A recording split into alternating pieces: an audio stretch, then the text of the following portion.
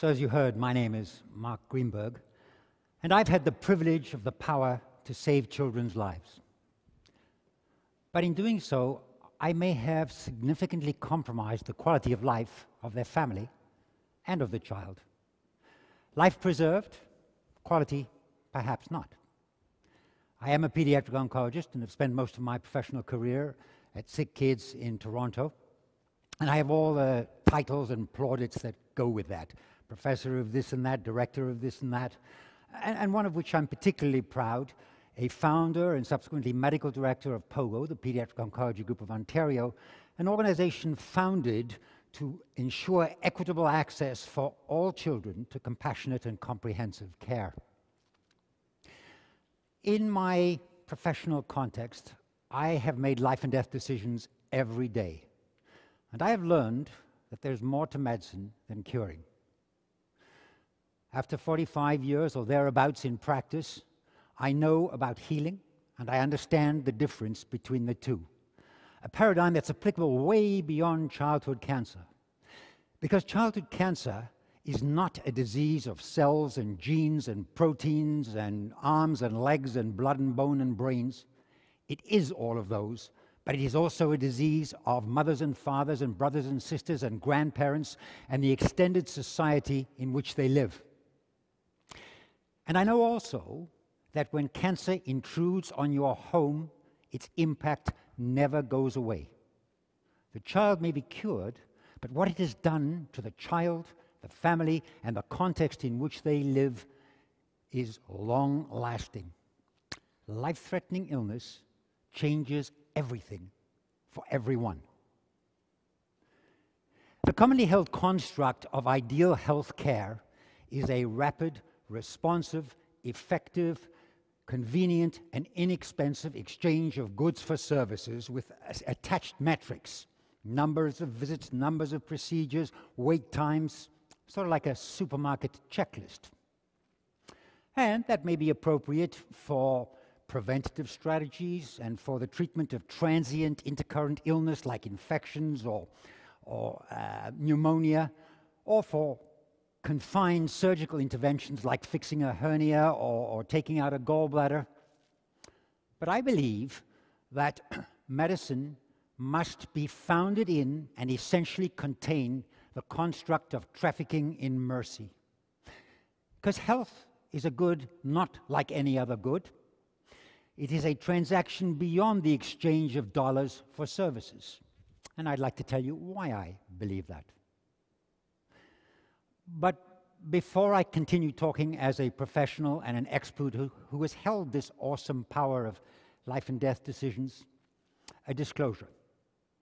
I am also a father of a child who was lost to cancer, a decision maker and a healer, not able to make decisions, nor heal, nor even cure. And in those blinding moments, I understood that whatever idea one has that one has control over one's children's lives or one's own lives or their collective futures is transient at best and absent at worst. And in those moments, I understood the difference between healing and cure. Because cure is the construct that whatever brought the patient into the ambit of the healthcare system is done with, abolished, fixed.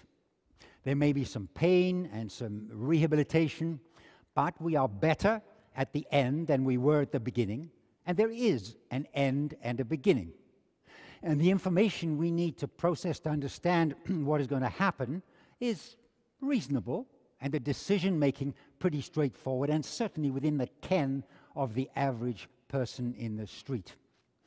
We even quite often get to decide when the fix will happen we have a sense of control, and we are used to it. We expect it and even demand it. And the problem is that that translates into other aspects of healthcare, and life threatening illness does not fit the model because of the enormity of the decision making, because of the magnitude of the consequences, and because it will change life forever. It needs healing beyond cure. Because healing is the construct that illness is not a biological disease. It is a biological disease, but it is also a psychological, behavioral, emotional, and social and societal disease. And the corollary is that healing must encompass the notion of adapting to whatever the physical state of health of the patient is or was, and the illness experience of all of the participants in this complex dance of illness, whatever the outcome. And the outcome may be survival, not scarred, or survival scarred to a greater or lesser extent, or indeed, in my circumstances, even death. And the new life that will emerge as the consequence of this illness cannot escape the circumstances that created it. The impact will reverberate down time and over generations. And that may be growthful, that, that may produce enlargement. Let me tell you, for example, the story of a little girl called Beth, who was sent to me when she was nine months old with a kidney tumor, which was imminently curable with simple therapy. And that's what we did with Beth. We gave her simple chemotherapy, we took out her kidney, and we watched her grow from a toddler to a charming, delightful, engaging child until 18 months after her diagnosis when her tumor came back in her liver. And that changed the whole circumstance because survival for that condition is 20%, and it mandates aggressive therapy. That's what we did. We gave her aggressive chemotherapy, we did radical resection, and we radiated her. And we watched her grow and thrive. I watched her through her childhood, more and more engaging as time went on, a charming teenager, an extroverted, exciting person until 15 years after her diagnosis when she crashed into heart failure as a result of our treatment and required a heart transplant. A dramatic example of the impact never going away. But you should see her today.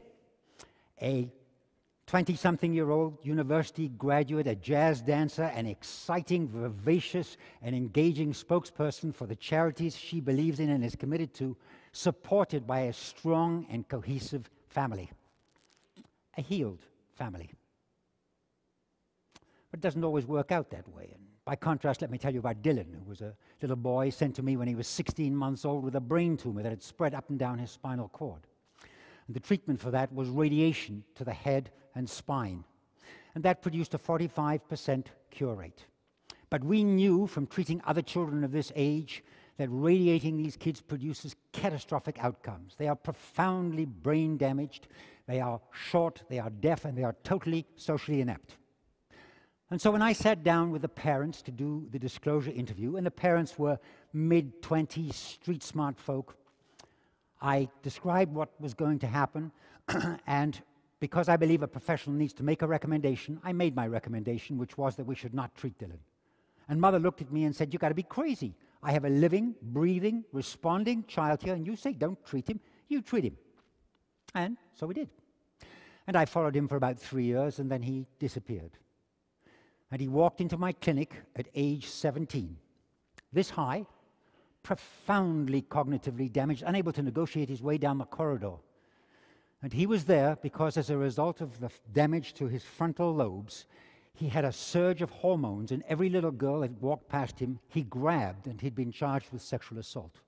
And what they wanted from me was a letter indicating that there were mitigating circumstances. And I gave it to them. And as they walked out of my clinic, the mother looked at me with a glitter of anger in her eyes and said, Knowing what you knew, how could you have let me treat him?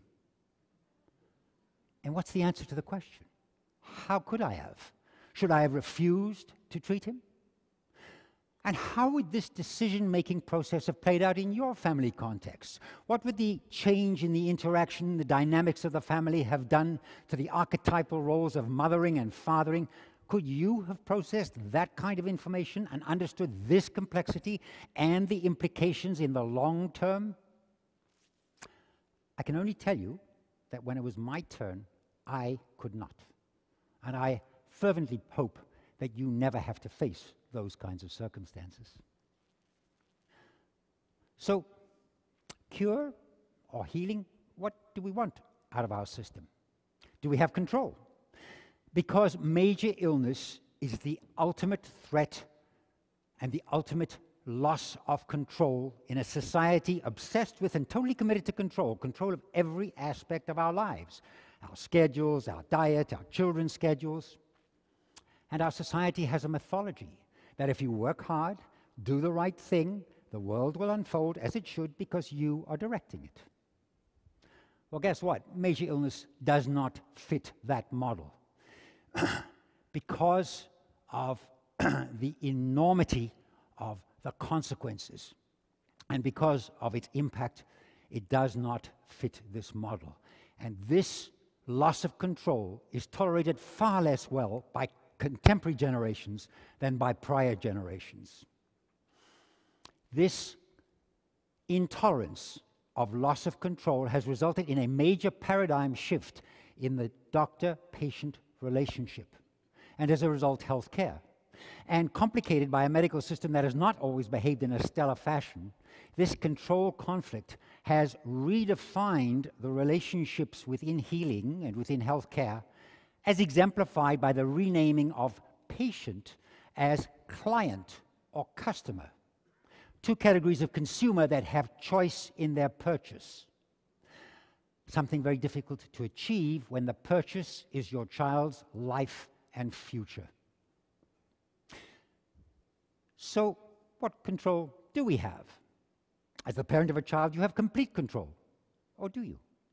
Let me tell you about baby Brendan, who was sent to me at age 14 months with a diagnosis of myeloblastic leukemia, a disease with a 35% cure rate with treatment that would produce short term illness but long term health if it worked. And so I sat down to do the disclosure interview with mum, and it turned out that mum was a 45 year old woman and Brendan was her first and only child. And when I laid out the plan, she said, I don't want your treatment, I don't need your poisons, and I won't have them. Turns out she had a belief in the natural order of things. She believed that the world would unfold naturally, and whatever perturbation there was in the natural unfolding would correct itself without my help. Thank you very much. I did what I needed to do. I went to Children's Aid, which went to court, which gave the Children's Aid the right to make the medical decisions while mum retained custodial care. And we treated Brendan. And he was sick for a couple of months and since then has thrived. And if you see him now, he's a great, huge, 16 year old, hairy son of a gun, cured. And his mother is totally alienated from society. She believes her rights were violated. She believes her son's rights were violated. She believes the natural order of thing was, things was violated. A cured child. No healing there. And by contrast, let me tell you about Brian, who was a little guy sent to me, roughly the same age as Brendan, with a different kind of leukemia, one that had a survival probability of 70% without treatment. Brian was the product of a couple who belonged to a church who believes absolutely that blood transfusion is proscribed by biblical edict. And so when they arrived at the hospital, they arrived with their church support group and their church lawyers with loins girded for court battle. And when I sat down to do the disclosure interview, I outlined for them the treatment. And then I said, I understand and respect your religion, and I will honor it until and unless I believe Brian's life is at risk. And in, if and when that happens, I will act unilaterally under the common law and I will transfuse him.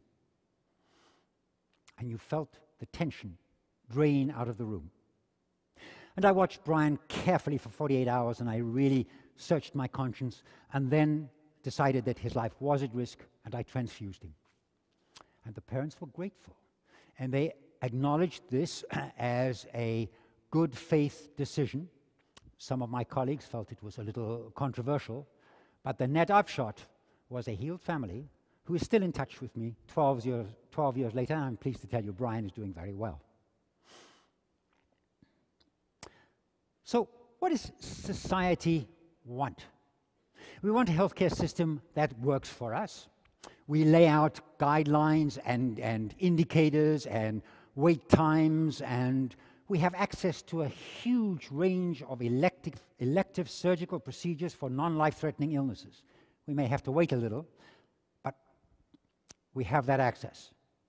There are people out there who believe that medicine should be turned into a business, that patients should become clients. I support the notion of individual centric patient care, but I think we need to look very carefully before we shift the paradigm of our healthcare system. A system designed to give us what we need when we need it and being reinterpreted to be what we want when we want it. That has huge implications for care, cure, and healing. What I do is difficult, but incredibly rewarding. Nobody goes into pediatric oncology to increase their income. You do it because you have a passion for caring for children, for healing, and for healing families. We are not healthcare providers, we are healers. We traffic in mercy every day, whether that trafficking is chemotherapy, surgery, radiation, or finding the words to help people transcend a tragedy or turn it into a triumph. We are healers. But we as a society are losing our vision of healing. As we search for control over our lives and over our healthcare system, we are beginning to move away from the notion of compassion. And I would argue that given a choice between competence and compassion, you should always choose competence, but you should never have to make that choice. Can the system accommodate it? I'm not sure. I don't have the answers. I have some ideas. I think we need to go back and define are we looking for need or want? I think we have to identify how we are going to encompass our most vulnerable, the sick, the surviving, and the aging, the survivors of myriad childhood illnesses that have been cured, but at cost. And my generation, aging steadily, if not graciously. How are we going to maintain equity in the system? I don't know. One last story. A little boy that I started treating when he was two years old recently turned 18, which is the age at which children move from the pediatric to the adult setting. And as he came for his last appointment, the nurse who was with me when I did the disclosure interview said to me, I never understood the impact of this disease until I heard you say to the parents of this child, Your life will change irretrievably. As they came for their last appointment, the father wrote me a note. Thank you for the time which you have given us to be able to see our boy grow physically to young adulthood. Thank you from me as a father for the time to be able to carry my son on my shoulders to see his first baseball game. Thank you from me as a father for the time to be there when he asked about girls for the first time. But most importantly, thank you for the time to be able to see him mature into the kind of loving son that we as a family can be proud of. This child was cured, this family healed. Thank you.